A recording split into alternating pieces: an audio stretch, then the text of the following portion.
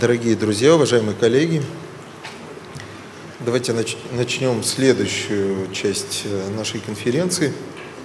Мы обнаружили, что это очень, а, очень интересный формат, э, вот такой вот э, на двоих, на сцене, начиная с прошлой конференции, когда здесь вместе со мной была Ольга Гончарова, и мы обсуждали тему внедрения XBRL. Это было очень актуально в этот момент, и к накопилось очень много вопросов, и, и эта часть, она скорее про общение зала с а, собеседником на сцене, чем, чем мой разговор или разговор других э, спикеров э, между собой. Вот мы в вашем распоряжении сегодня в вашем распоряжении э, Валерий Лях, директор э, Департамента противодействия недобросовестным практикам Банка России. Э, и поговорим мы с ним главным образом о преследовании инсайда манипулирования, о развитии этой темы Центрального банка и других недобросовестных практик, которые находятся в зоне ответственности Валерия. Я приглашаю вас Начнем мы с презентации, с э, выступления Валерия, а продолжим разговором, к которому, я надеюсь, вы подключитесь. Валерий, да, добро пожаловать. Спасибо. Добрый день, коллеги, еще раз. Алексей, ты сказал, формат на двоих стал популярен, и я как сердце внутри ёкнуло, потому что ну, у нас принято это больше на троих формат. Поэтому пусть третьим будет зал в этом случае. А, знаете, я сегодня увидел, что такой формат, когда а, задаются вопросы залу и просят зал поднять руки тех, кто за все хорошее, а тех, кто за все плохое, просит не поднимать руки, он достаточно популярен стал в последнее время. И вот если бы я спросил, кто а, из зала, из здесь присутствующих имеет отношение к разработке закона об инсайде и манипулировании первого, я уверен, ну вот две трети зала точно встанет скажет я, я точно там принимал участие, а, ну и Алексей точно скажет, что он тоже принимал участие. И этот закон а, писался 10 лет, в результате того, что такое большое количество людей приложило к нему свою руку, мнение получился, он таким, какой он получился. Соответственно, после того, как он э, вступил в силу, ко мне был единственный вопрос, а как вообще дальше с этим полетим? Ну, как-то полетело, я точно понимаю, что кто-то не рад был тому, что полетело, кто-то заинтересован, а что же будет дальше. А, тем не менее, с момента, когда закон вступил в силу, мы фактически сразу начали понимать, что а, косты для рынка все-таки а, должны быть соизмеримы с той выгодой, которую несет законодательство. И понимать, каким образом можно с одной стороны уменьшить затраты, на регуляторные затраты, с другой стороны, а, каким образом повысить эффективность самого закона. А, потому что в большей степени вот сейчас происходит диалог регулятора и рынка, хотя, по моему мнению, конечный диалог должен проходить у рынка с клиентами и у регулятора с клиентами в том числе, потому что а, в случае этого законодательства точно и регулятор, и рынок по одну сторону а, баррикад, и конечный, конечная цель на ту же самую, за ту же самую сторону затащить и клиентов, чтобы как можно больше клиентов понимало а, и смысл законодательства, и ограничения, и, главное, выгоды, которые он приносит. А, собственно, мы начали разработку поправок, предложений, естественно, там все эти годы консультировали с вами, и э, те поправки, которые сейчас были приняты в закон, которые вступают в силу с 1 мая традиционно, мы даем э, как можно более долгий срок для того, чтобы рынок приготовился к поправкам и э, вступил во всеоружие.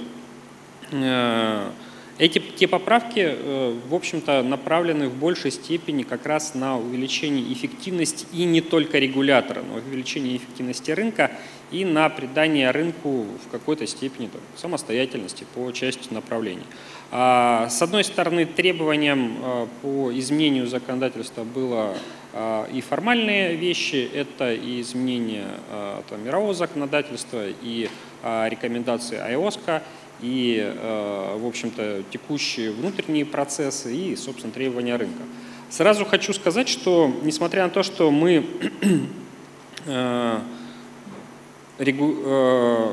регулярно смотрим на те изменения, которые происходят у наших э, зарубежных коллег, э, учитываем его и понимаем, что э, вот с МИФИДом мы должны как-то в будущем все больше и больше соотносить. Сразу скажу, что в моем понимании соотнесение с МИФИДом и уменьшение арбитража с тем же самым МИФИДом это в большей степени по духу должно быть, нежели чем соответствовать по форме, потому что вот та форма, в которой существуют сейчас, эти требования, по моему мнению, все-таки достаточно дороги для рынка. И э, опять же мы должны соотносить то законодательство, которое есть, с теми э, ресурсами, которые она дает непосредственно рынку для в конечном счете получения э, заработка на рынке и применения этого законодательства в целях получения прибыли. А, если можно, первый слайд. Нет у нас это жезла управления миром, нет? Собственно, что изменилось в законе, если э, говорить глобально? Это сейчас инсайдеры, спасибо, Алексей, инсайдеры могут составлять собственный перечень инсайдерской информации, и исходя и из положений законодательства, и из особенностей своей деятельности. То есть фактически то, о чем достаточно давно мы говорили с рынком, и, и у рынка, и у нас был запрос на изменения, оно свершилось. Перечень инсайдерской информации остается тот перечень, который публикует Банк России, который он издает и дополняет в дальнейшем, но эмитенты, участники рынка имеют право теперь а, добавлять собственный перечень инсайдерской информации, также ту информацию, которую, как они считают, является значимой для них и которая не включена в общий перечень инсайдерской информации. Потому что, ну, собственно, мы не раз говорили о том, что был перечень, его копировали, и дальше это было формальное достаточно использование. А сейчас э, нацеленность на то, что рынок должен формировать вторую часть, важную для себя самостоятельно. Мы же будем оценивать, а, какая информация, какую информацию необходимо вносить в общий перечень, а какая информация может оставаться так и дальше в ведении а, непосредственно самих участников рынка. При этом и вопрос, э, а куда мне стрелять? Нет, ни разу, не заметьте. Это не сделал. Коллеги, вот специально да, было спасибо. поручено человеку, который учился этому три года. Да. А, собственно, что касается раскрытия этой инсайдерской информации, сейчас э, э, в отношении того э, перечня, который публикует Банк России, устанавливается а, стандартный порядок и сроки раскрытия инсайдерской информации, если закон не предусматривает иной. А в отношении дополнительной части, вариативной части, которую формируют непосредственно участники рынка, а, сроки устанавливает э, непосредственно сам владелец этой инсайдерской информации, исходя из э, того, как он оценивает эту инсайдерскую информацию.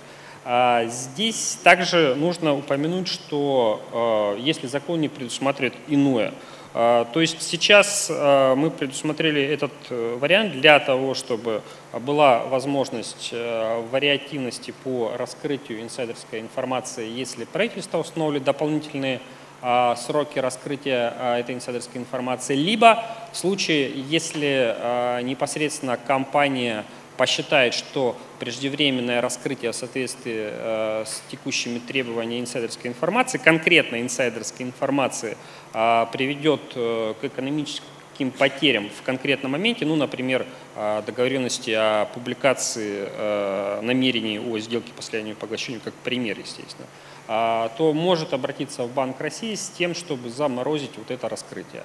А каким образом будет э, сделан формат вот этой заморозки ну, и рассмотрения, пока мы определяем, у нас есть время, А, поэтому тоже хотели бы от вас услышать, э, как вы считаете наиболее удобный вариант. Понятное дело, что существует два варианта. Один уведомительный, э, сейчас основные варианты, которые существуют в мире, один уведомительный через сайта регулятора направляется информация о том, что мы э, эту информацию стараем, будем замораживать по раскрытию до конкретного срока.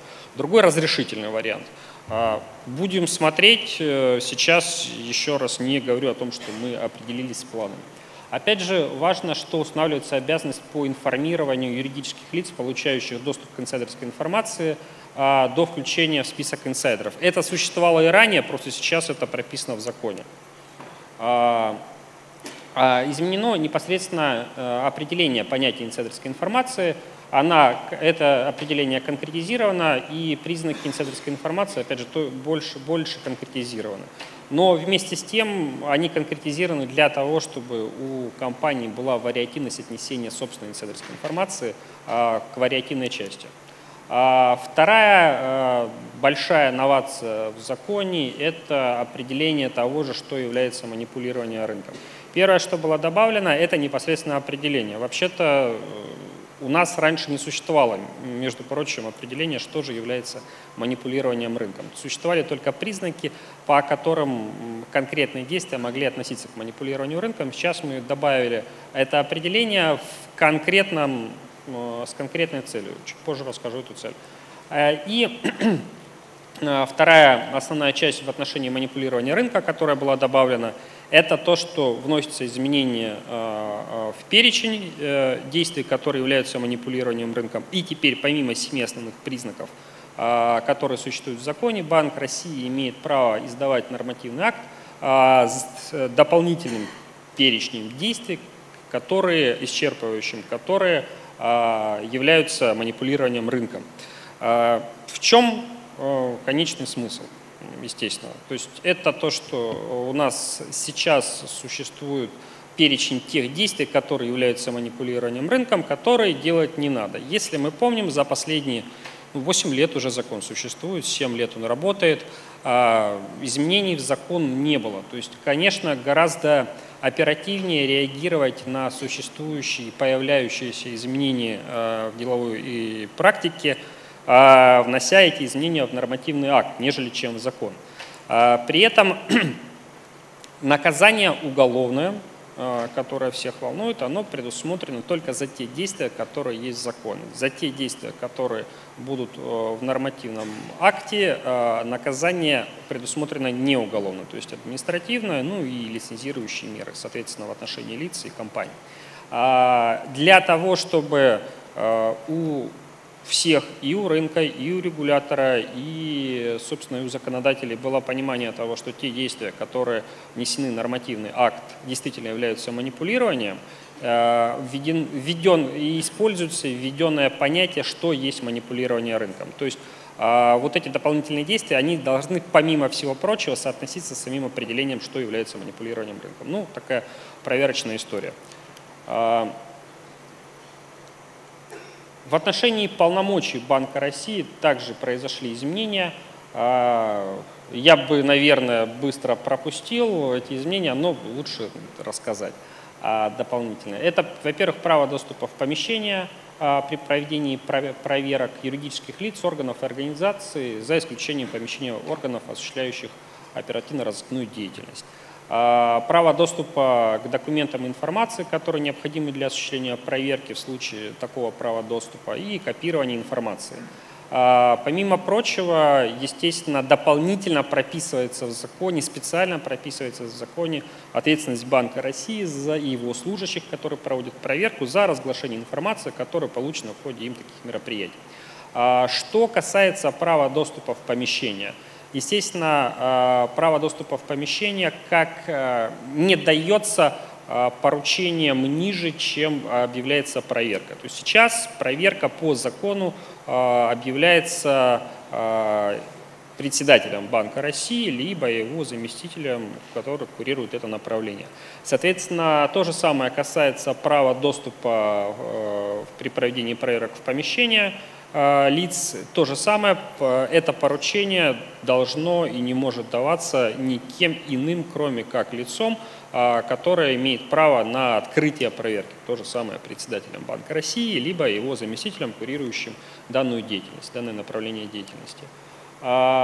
Еще необходимо сказать э, о том, что доступ в помещение физических лиц, э, конечно, может ими быть, э, ими может быть отказано при проведении проверки доступа в их помещение.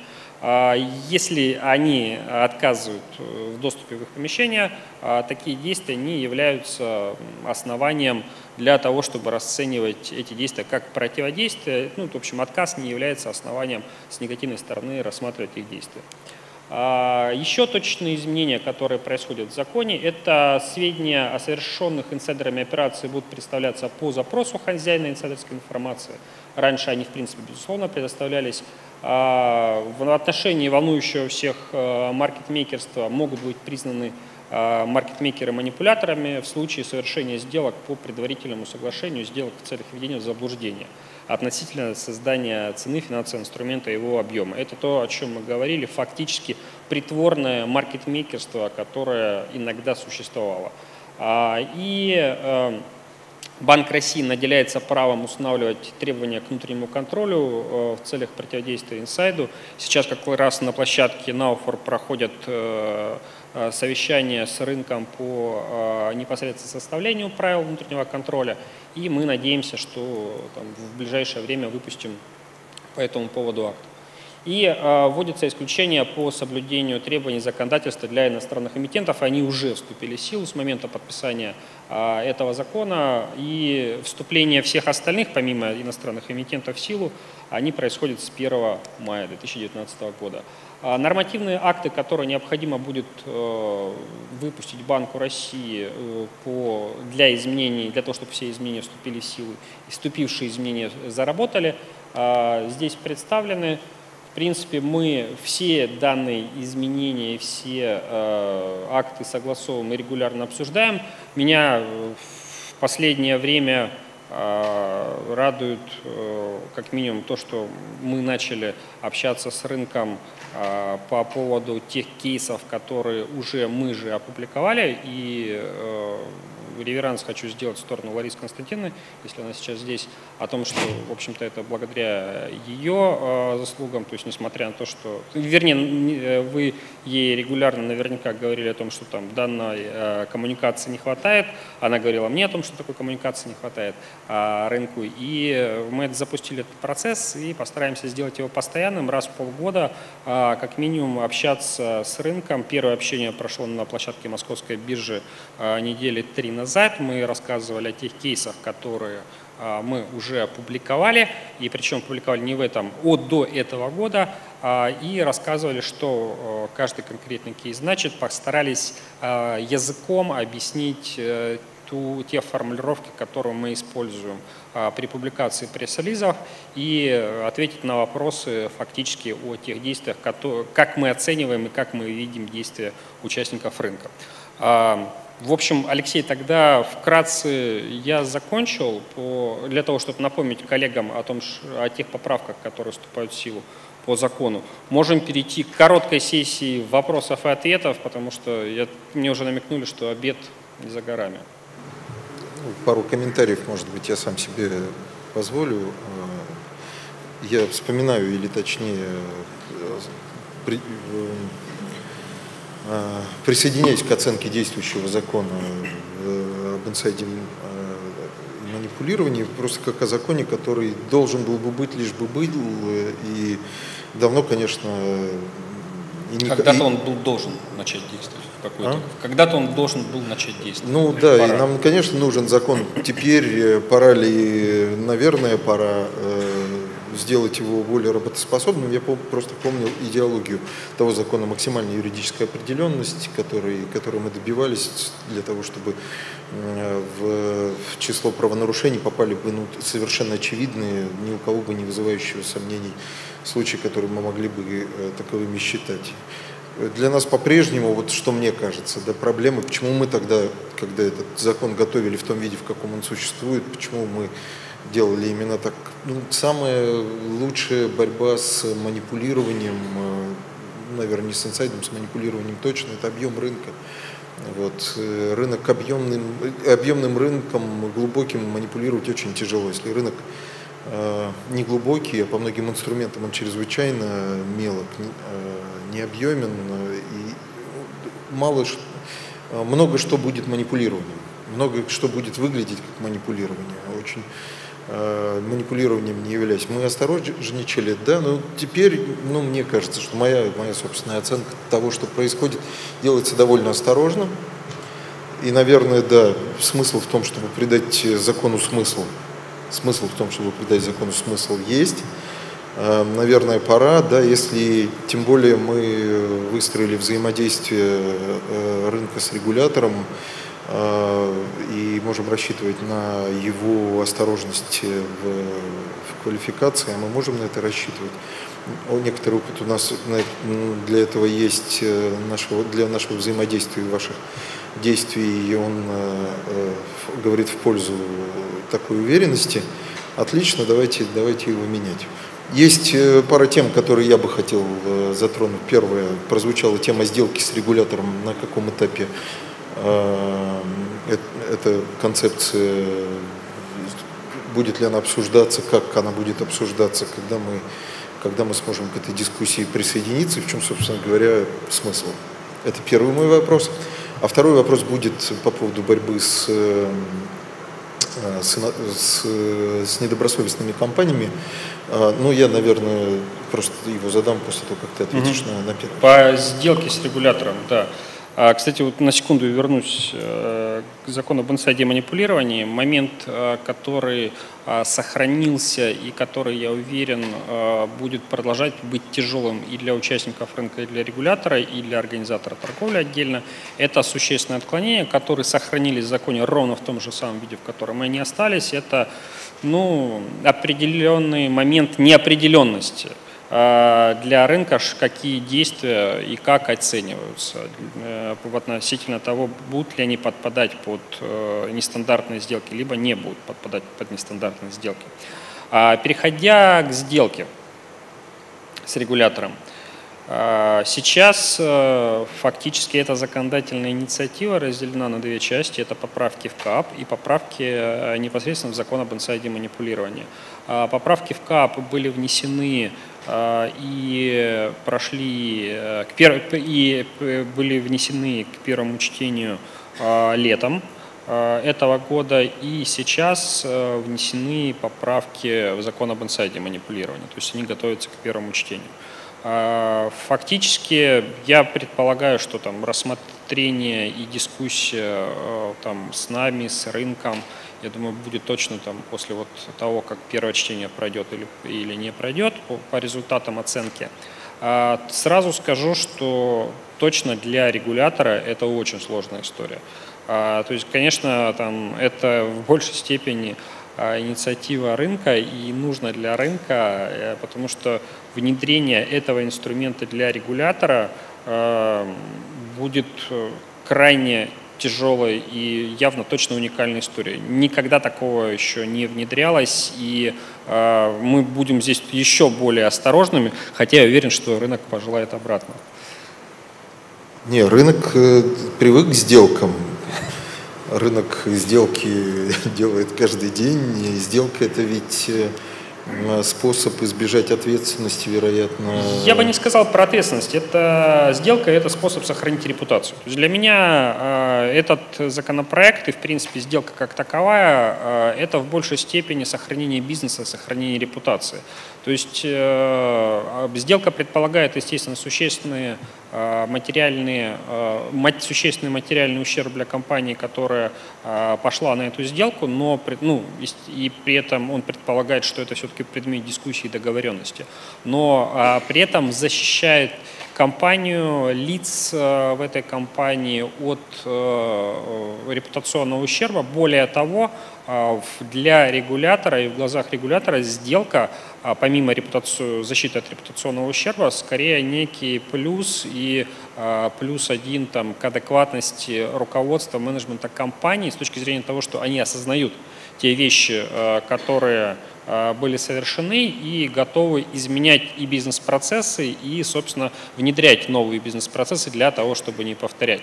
Потому что для сделки тоже существует определенный лимит, то есть за там, одинаковые действия там, два раза подряд сделку ты не заключишь. То есть такая однократная вещь. Но речь идет о том, что сторона сделки избежит ответственности. Сторона сделки, да, избегает Если, например, э, примет на себя обязанность... уголовная, да, она избегает. Конечно. Примет на себя обязанность компенсировать убытки, перестроить процессы, еще какие-то условия, которые, э, которые будут свидетельствовать о признании вины и готовности э, избежать Тут важно, важно говорить о Э, говорить в терминах, потому что признание вины не происходит. Вот как раз в отношении признания вины мы должны четко понимать, что в случае сделки никакого признания вины не происходит, потому что сделка фактически предполагается к заключению до момента окончания расследования, то есть на каком-то из этапов. То есть не происходит и обвинение, и не происходит э, признание вины. И это важно именно, что здесь э, вины не происходит. А, и в отношении ущерба а, пострадавшим тоже этот инструментарий а, как бы отдельно рассматривается, потому что платится не ущерб, так как такого ущерба нет в этом случае, это не ущерб. Это скорее там та цифра, которая является предметом договоренности но и предметом обсуждения, но не прямо соответствует и не прямо связана с формальным ущербом. Я сейчас брошу эту тему. Я, ну, просто, может быть, последний вопрос по этому поводу. Но э, факт заключения сделки публичен или нет? А, публичится факт а, непосредственно того, что компания либо лицо а, заключили сделку с регулятором. Это информация, которая обязательно должна быть опубличена, потому что сама сделка тоже предполагается, а, верифицируется судом. И эта информация должна быть публична. Но не то, что является сутью этой сделки. Хорошо. Это я, как обещ... раз я обещал закончить эту тему. Если у кого-то, если у кого-то будут вопросы по этому поводу, вы дополните мои вопросы своими. И вторая тема – это недобросовестные компании. Вот все на самом деле, что мы адресуем э, индустрии, бессмысленно, если э, если э, недобросовестные компании при этом не преследуются. Эта нагрузка регулятивная тяжела, ее принимают на себя компании добросовестные, иногда ошибаются, иногда э, допускают нарушения, э, отвечают перед регулятором или перед своими клиентами. Но что толку от этого, да, если можно просто уйти в тень и, и действовать за пределами, за пределами, что ли, Э, пятна света, да, которые, которые под, которым под лампой, под лампой регулятора. Да? Ну, поэтому мы всегда говорим о том, что существует очень сильный, и нам кажется, что это факт, да? когда мы накладываем различные требования на добросовестные компании, э, в части их поведения, предложения своих услуг в это время одновременно имеем дело с недобросовестными, которые могут, э, которые, если их регулятор не преследует, действуют, э, могут осуществлять то же самое, избегать той нагрузки и той ответственности, которые которые, которые принимают на себя компании добросовестные, компании индустрии. Сайты.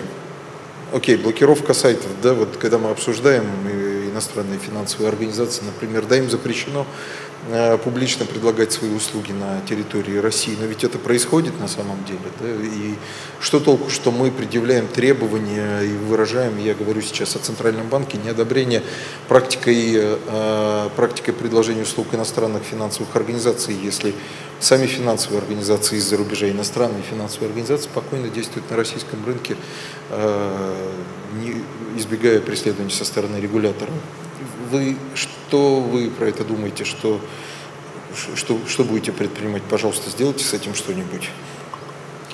А, что касается недобросовестной практики на рынке со стороны недобросовестных участников, А что уже сделано на сейчас? Это уже практически год, как действует в структуре Банка России а, в каждом главном управлении, в том числе и в Екатеринбургском главном управлении, где мы сейчас находимся, специальные отделы про, по противодействию безлицензионной деятельности. Их задача мониторить, выявлять, а формировать э, материалы и направлять их в правоохранительные органы для прекращения такой деятельности в дальнейшем. То есть они а, самостоятельно выявляют те организации, которые оказывают без лицензии, без включения в реестр Банка России а, услуг, псевдоуслуги на финансовом рынке.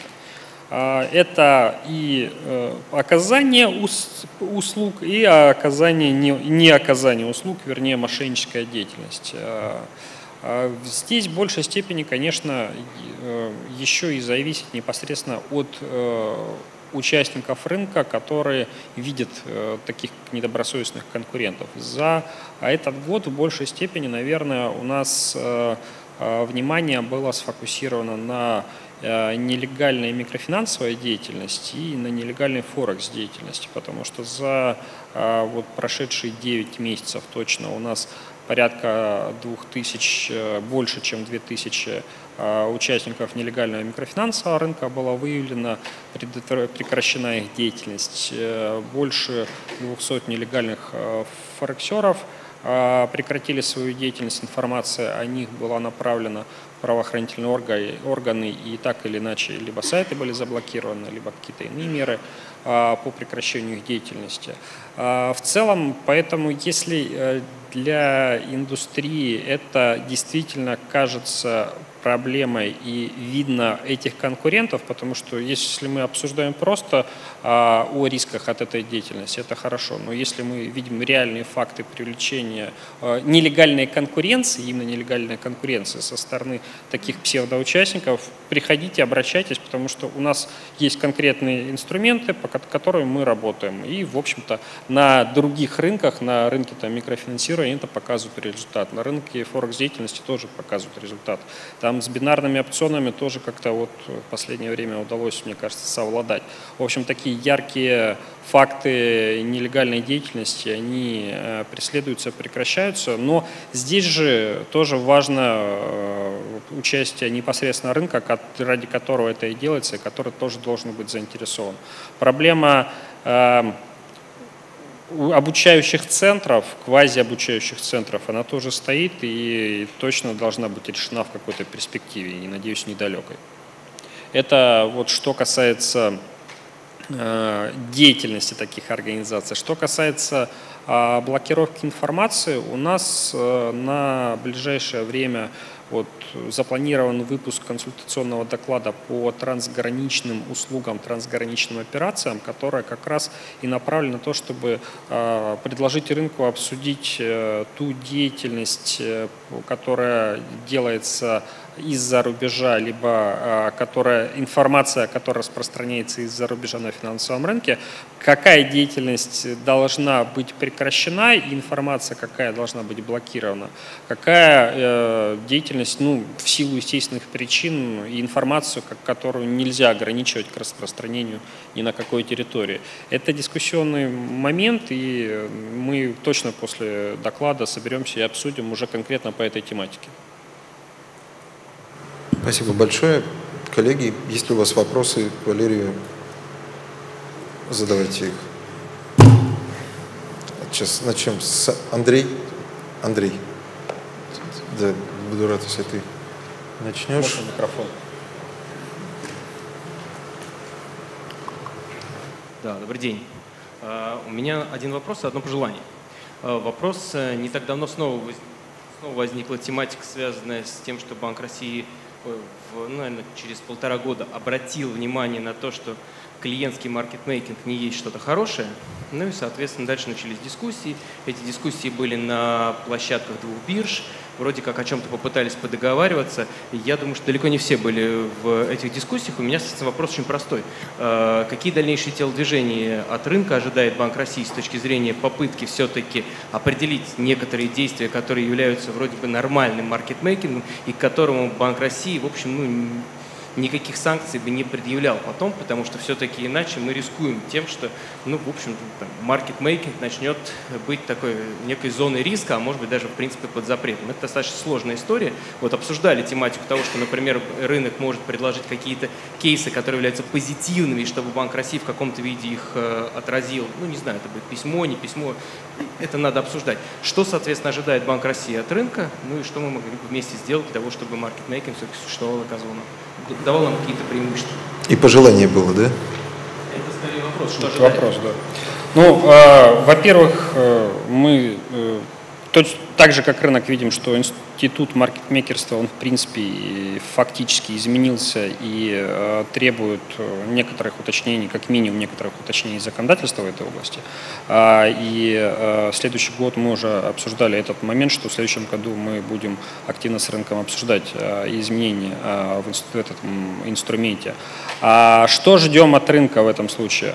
А, ждем от рынка, что компании соберутся с учетом саморегулируемых организаций, выработают те добросовестные подходы, которые сейчас существуют, добросовестные примеры маркетмейкерства, которые сейчас есть. И э, я не могу сказать, что это там некоторый документ, но как минимум гайдлайн на сайте мы вывесим. То есть мы в принципе переходим э, к системе гайдлайнов в работе с недобросовестными практиками. Это быстрее, оперативнее и, как мне кажется, не никаким образом не уменьшает а, дискуссию с участниками рынка, а, но э, информация доводится быстрее и всем понятно.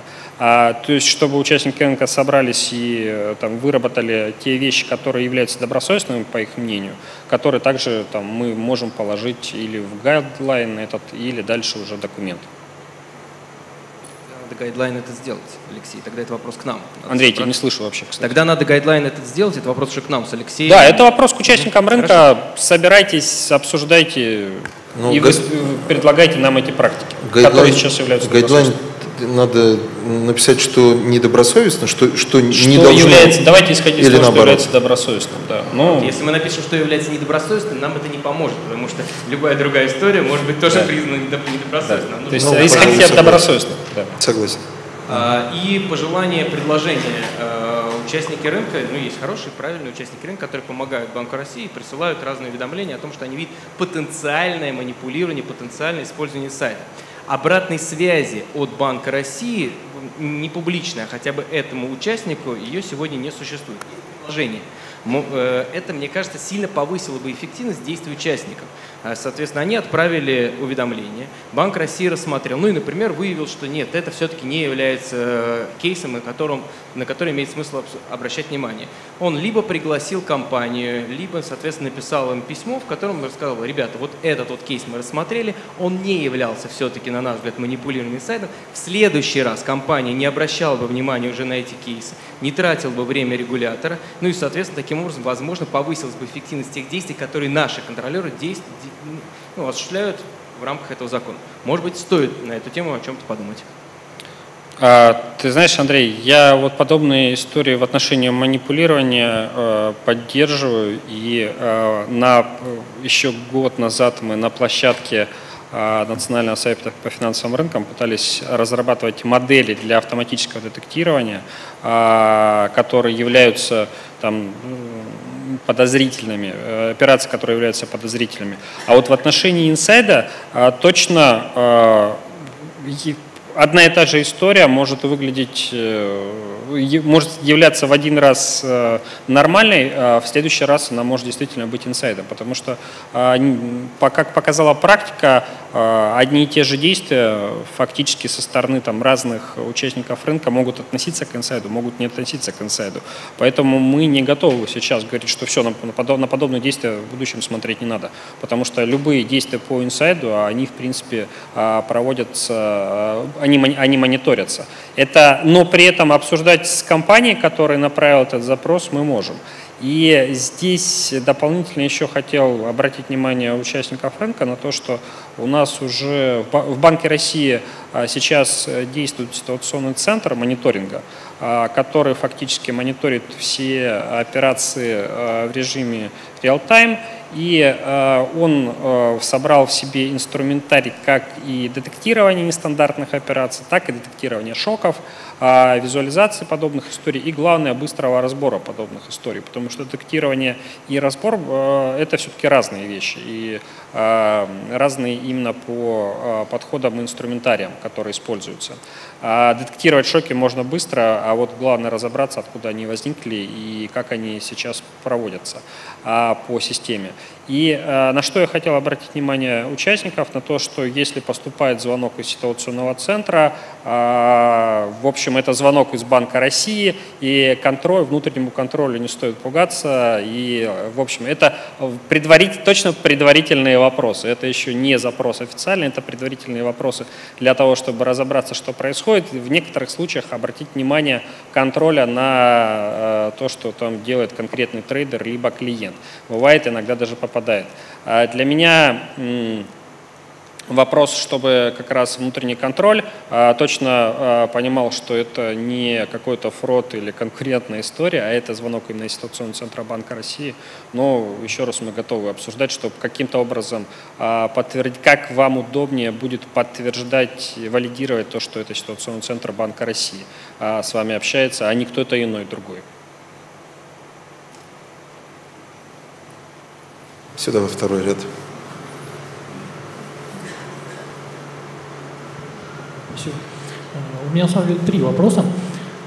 Первый, э, то, что говорилось про э, борьбу с мошенничеством в интернете, то есть если первую группу сайтов, которые представляют собой клоны, фактически мошеннические сайты, уже получается довольно успешно с ними бороться, то, к сожалению, остается второй пласт, абсолютно никак не задействованный, это недобросовестные практики, когда ну, нехорошие люди, злоумышленники, да, публикуют э, ложную, недостоверную, порочащую э, репутацию, информацию.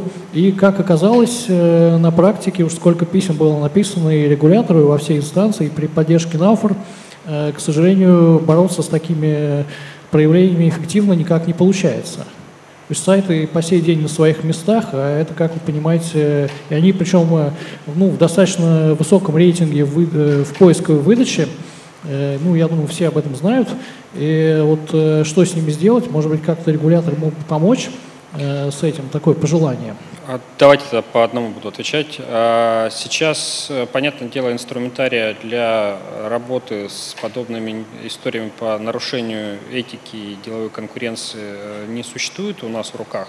Но а, буквально вот несколько дней назад э, Совет Федерации и Госдума разработали поправки о внесудебной блокировке сайтов по недостоверной финансовой информации, которая распространяется по представлению Центрального банка. Они разработали и скоро, я думаю, будут готовы к их обсуждению. То есть это тот инструментарий, который, я думаю, вот как раз поможет подобным историям. ЦБ будет готов оперативно рассматривать как-то жалобы профучастников? Со своей стороны, если такое законодательство будет, и э, мы отработаем механизмы, естественно, эта уже история будет э, работать на как можно более оперативном канале. Если позволите, еще два коротких вопроса по Э, новому закону о борьбе с э, инсайдом и манипулированием. Э, вот в первой панели говорилось о повышении прозрачности ЦБ в плане расследований в отношении там, каких-то серьезных кейсов. То есть не планируется ли и расследование по случаям выявления манипулирования ценам тоже как-то повысить прозрачность, публичность. Ну, к примеру, как это делает СЕК когда каждый какой-то кейс, подробный, подробный отчет потом в интернете выкладывается, и можно найти, кто что конкретно делал, и понимать почему. Потому что, конечно, нет оснований не доверять, но э, иногда бывает сложно понять по одному э, сообщению в ленте новостей, что ЦБ обнаружил манипулирование в каких-то низколиквидных облигациях третьего эшелона, э, если цена колебалась там буквально на полпроцента, то есть ну, это, это реальный факт. Угу, это вот. вопрос, да? А можно тогда, вот я вначале говорил о том, что сейчас стало популярно обращаться к залу с тем, чтобы узнать его мнение. Вот я прошу представителей Центрального банка и представителей прессы, самое главное, не поднимать руки. Я прошу участников рынка поднять руки, кто готов, что э, такие кейсы будут выкладываться полное э, полный э, расклад и, собственно, будет выкладываться фактически полное расследование. Кто-нибудь готов к этому со стороны рынка? Вот. Два, три, три. Нет, а, четыре. Четыре участника. Не, не обязательно имена раскрывать личные данные, а суть. Не, вы знаете, по законодательству мы как раз обязаны раскрыть и в первую очередь имена и кейс. То есть имя того, кто нарушил, и в отношении какого кейса это происходило. Ну и в, в-третьих, тоже по этой проблеме э, интересна позиция о э, сроках расследования. То есть ну, каждый, наверное, очень часто получает э, запросы э, по событиям, которые происходили уже достаточно давно. То есть и приходится трясти клиента, вспоминая, чем ты торговал 1 февраля. И провести какое-то эффективное расследование, там, э, в особенности, если там уже э, контракт экспирировался, его график не найдешь, или инструмент делистился, ну, достаточно э, затруднительно. Не планируется ли как-то повысить оперативность? Э, в первую очередь инструментарий ситуационного центра является таким э, сильным, э, сильной вещью, которая повышает эффективность и скорость проведения расследований. Но вообще практика проведения расследования, она и предполагает а, проведения длительных расследований. То есть мы не являемся там чем, точно чемпионами на мировом э, рынке регуляторов по скорости проведения расследований э, и по длительности проведения расследований тоже. Но мы скорее среди тех, кто быстрее всех проводит расследование. Практика 3-5 лет проводить расследование – это норма, и она связана с тем, чтобы конечно, в первую очередь с тем, чтобы конечный э, вердикт, он был максимально выверен. И никто, э, в чьих действиях есть сомнения, э, не пострадал. И с другой стороны, мы, конечно, долгое время проводили расследования там, на два, на три года назад и э, публиковали истории там три, бывало даже больше лет назад. И это скорее э, говорит о том, что э, ключевой целью является в том числе неотвратимость наказания для всех, кто совершил правонарушение на финансовом рынке.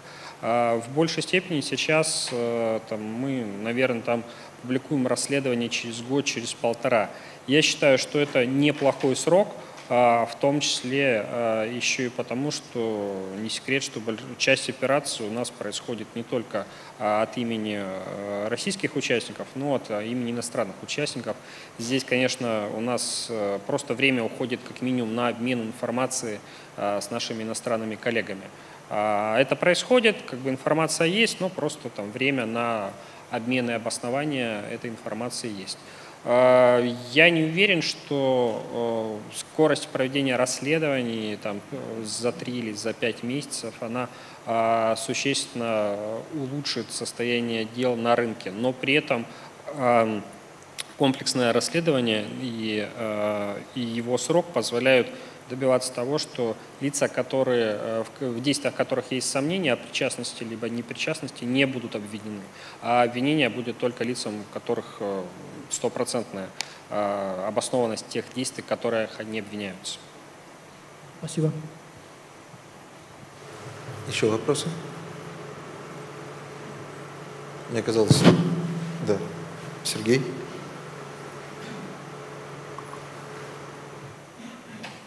Валерий, один из самых больших, наверное, масштабных кейсов э, апрельских, по-моему, э, с Элвисом Марламовым, э, задевающих, по-моему, большую часть индустрии с точки зрения потенциального влияния или выявления таких кейсов. Плохо слышно. А, сейчас лучше? Один из самых масштабных по влиянию на индустрию и задействованных лиц кейсов – это кейс э, с Элвисом Арламовым, с обвинением его, по-моему, в инсайде, да, или манипулировании рынком. Можете прокомментировать сейчас эту ситуацию, чем она закончилась, если закончилась, и ваше видение отказа Генпрокуратуры в возбуждении уголовного дела? Ваше, мое видение, извините, не услышал в конце. А, ну, Генпрокуратура, насколько я знаю, отменила возбуждение уголовного дела. А, можете прокомментировать эту ситуацию? А, э, Банк России направил материалы в правоохранительные органы по результатам расследования. Мы, конечно, не комментируем действия правоохранительных органов, потому что только они имеют право комментировать их от своего имени. А, да, сегодня выходила статья, я ее тоже читал, естественно. А, и та информация, которая в ней изложена, я в курсе. Но при этом э, надо понимать, что подобная практика действий правоохранительных органов, она не является чем-то необычным. И э, в целом это именно, там не было отказа, как вы понимаете, и э, это в большей степени нужно расценивать с точки зрения бизнес-процессов правоохранительных органов. Я предлагаю дождаться, э, собственно, всех э, процедур, по данному мероприятию для того, чтобы там сделать окончательный вывод. То есть сейчас мы эм, не э, находимся в какой-то новой позиции, то есть у нас, в принципе, все сохраняется по-прежнему. И я прекрасно понимаю, что срок на расследование подобных историй, он точно долгий, потому что это не стандартные нестандартные правонарушения, которыми, как правило, занимаются правоохранительные органы, пусть даже и отделы по борьбе в сфере экономики, а, которые, как правило, сталкиваются с нестандартными историями. Для них это еще более единичные нестандартные кейсы. И, в принципе, как таковых а, большого количества завершенных дел со стороны правоохранительных органов их пока нет. И, в общем-то, даже по делу Хилова, как э, вы знаете, решение до сих пор не вынесено судом. Поэтому подобные э, истории тянутся долго. Еще вопросы? Да, прошу вас. Пусть, э, ну, может быть, еще один, кроме этого. Поэтому не смущайтесь поднять руку. Спасибо, Валерий. Хотелось бы вернуться к теме лицензированной деятельности форекс-дилеров. Вот я, допустим, сейчас специально посмотрел э, выдачу в поисковиках э, тех или иных организаций, которые предоставляют услуги. И зачастую там как минимум два участника, которые не являются лицензированными, они запросто рекламируются. Просто не так давно мы настраивали на московскую биржу с нашими партнерами, брокерами э, программу маркетинговую. У нас вот компания Google запросила, мне кажется, все, что только можно, начиная с лицензии и, и так далее что мы подтвердили, что да, мы организатор торгов, мы можем этим заниматься. Вот ведется ли работа в этом направлении? Потому что понятно, что эти ребята, которые не работают в правом поле, они маскируются кто-то под учебные центры, кто-то под, кто-то напрямую предлагает, э, так скажем, э, трейдинг на Форекс не лицензирован. Вот ведется ли работа с этими агрегаторами, которые предоставляют такую рекламу? Дмитрий, имейте в виду с э, компаниями, которые проводят псевдообучение, нет, вот, допустим, мы сейчас в Google можем там, забить э, торговать Форекс. Вот как минимум э, в выдаче там две-три рекламные ссылки будут компании, которые не имеют никаких да, лицензий. вы имеете в виду историю с э, поисковыми системами? Да. С поисковыми да. системами. Ну, в большей степени, э, конечно, наша задача – это пред, э, прекратить деятельность подобных нелегальных организаций. Мне кажется, как раз э, работа а с э, подобными поисковыми системами, э, они все-таки коммерческие организации, это история бизнес-отношений легальных участников рынка и саморегулируемые, саморегулируемые организации совместно с ними. То есть я предлагаю это приглашать а, и поисковые системы, а, и агрегаторов на площадку Науфора и там совместно с ними обсуждать, рассказывая им о необходимости э, там, более внимательного отношения тем результатам поисковой выдачи, которые есть. При этом по э, ряду участников финансового рынка у нас уже сейчас есть проекты э, с Яндексом по идентификации легальных и нелегальных участников рынка, то есть по страховым организациям, по микрофинансовым организациям. А мы считаем, что в принципе подобную историю можно повторить и с участниками рынка.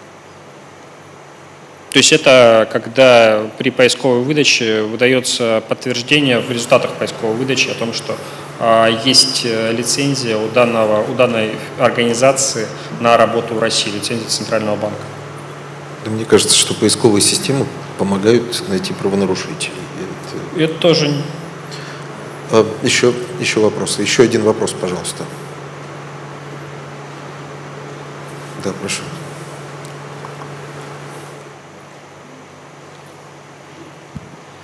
Добрый день. Я хотел задать э, следующий вопрос.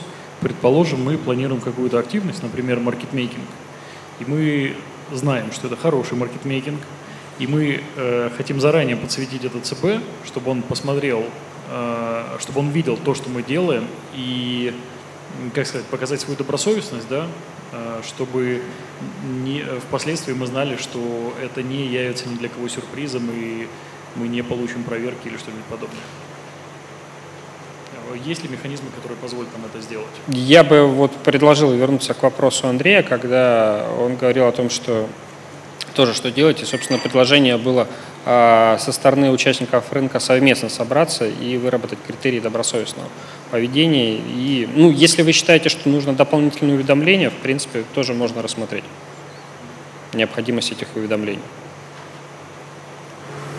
Хорошо. Я думаю, что да, нужно собраться и описать, что, что точно является хорошим маркет, настоящим маркетмейкингом.